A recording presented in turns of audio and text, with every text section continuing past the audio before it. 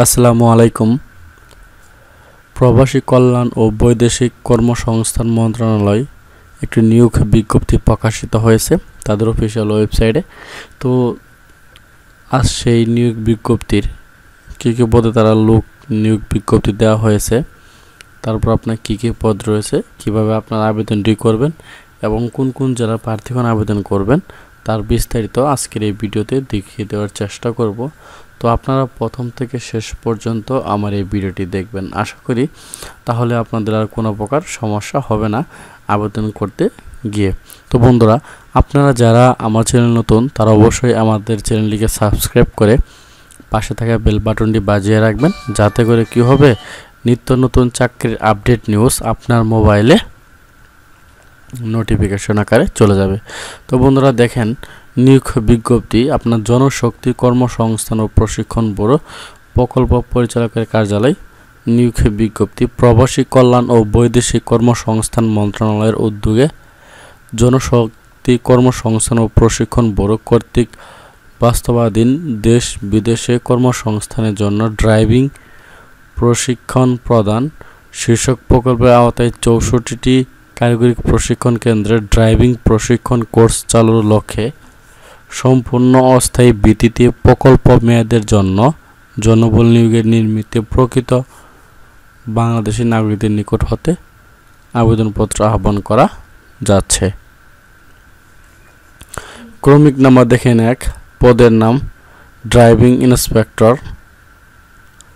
ব্যবহারিক আপনার মাসিক সম্মানী হচ্ছে চল্লিশ হাজার টাকা। সার্কুলার তৎসম প্রকল্প আওতায় সংস্থা আর অন্যান্য কিছু সুবিধাগুলো রয়েছে। তো আপনার ড্রাইভিং ইনস্ট্রাক্টর, এই পদে আপনার একশো ছয় জন লোক নেওয়া হবে। পদের সংখ্যা হচ্ছে একশো ছয় জন। অনূর্ধ্ব তিরিশ বছর হতে হবে। অধিক অভিজ্ঞ প্রার্থীদের ক্ষেত্রে বয়স শিথিলযোগ্য। তারপর দেখেন, নিয়োগ বিধি বা শিক্ষাগত যোগ্যতা অভিজ্ঞতা। মাসিক সম্মানিত প্রকল্প মেয়েদের জন্য অস্থায়ী ভিত্তিতে গেস্ট ট্রেনার হিসেবে নিয়োগ প্রদান করা হবে। যোগ্যতা ন্যূনতম এসএসসি পাস হতে হবে। বিআরটি এ ইনস্ট্রাক্টর লাইসেন্সদারি হতে হবে এবং অনুমোদিত ড্রাইভিং প্রশিক্ষণ ইনস্টিটিউটের প্রশিক্ষণ হিসাবে তিন বছরের বাস্তব অভিজ্ঞতাও থাকতে হবে।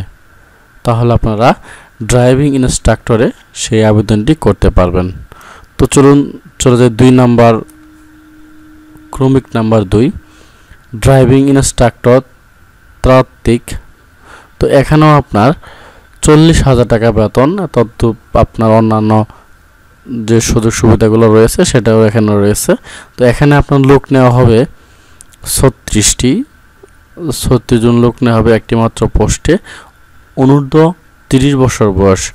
মাসিক সম্মানিত প্রকল্প মেয়াদের জন্য অস্থায়ী ভিত্তিতে গেস্ট ট্রেনার হিসেবে নিয়োগ প্রদান করা হবে।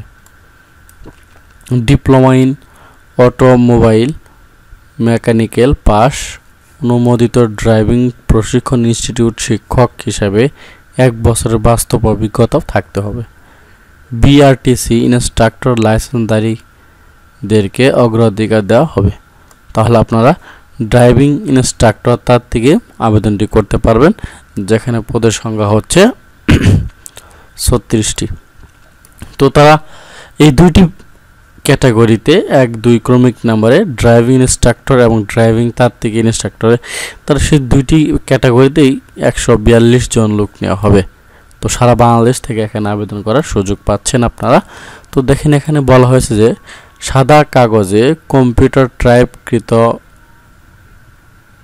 প্রার্থীর নাম, পিতা বা স্বামীর নাম, মাতার নাম, জন্ম তারিখ পত্রিকায় বিজ্ঞপ্তি প্রকাশের তারিখ, বয়স, বর্তমান ঠিকানা, মোবাইল নাম্বার বা ইমেল সহ, ও স্থায়ী ঠিকানা, নিজ জেলা বা জাতীয় শিক্ষাগত যোগ্যতা ও অভিজ্ঞতা ইত্যাদি উল্লেখপূর্বক আগামী বিশ দশ দুই হাজার একুশ তারিখ বিকাল পাঁচটার প্রকল্প পরিচালক দেশ বিদেশ কর্মসংস্থানের জন্য ড্রাইভিং প্রশিক্ষণ প্রদান, শীর্ষক প্রকল্প জনশক্তি কর্মসংস্থান ও প্রশিক্ষণ ব্যুরো এত তলা, এত কাকরাইল, ঢাকা, বরাবর আবেদনপত্র উক্ত ঠিকানায় ডাকযোগে অথবা ব্যক্তিগতভাবে পৌঁছাতে হবে।